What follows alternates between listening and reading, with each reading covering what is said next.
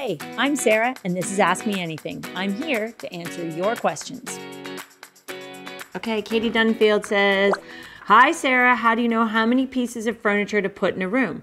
And how do you know the scale is proportionate, appropriate? Oh, that's a tough question to start with. Okay. So, Katie, when it comes to how many pieces of furniture to put in a room, I want you to start by thinking about what do you want the room to do?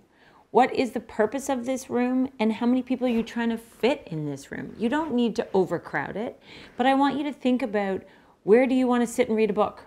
Where do you want to watch TV and a movie? How many people are you trying to put on that sofa if you're watching TV or a movie? That's really the guiding force for me is to think about who needs to use this room and how does it need to function. The next step is I always try and choose human scaled pieces. I know that sounds kind of crazy, right? But it's amazing to me today how many pieces of furniture are in the market that are absolutely giant.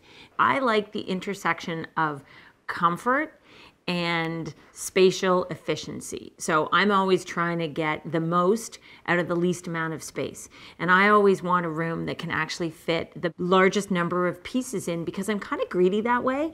I want to be able to kick back in the sofa and watch a movie, but then I want to be able to be in a chair all by myself and read a book.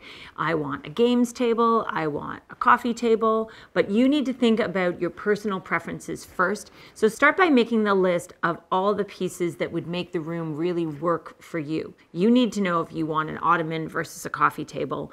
You need to know if you want a love seat versus a sofa. And of course, you then have to be aware of how much space you have because you know what? We can't have it all. We have to make choices. So choose the pieces that work best for you.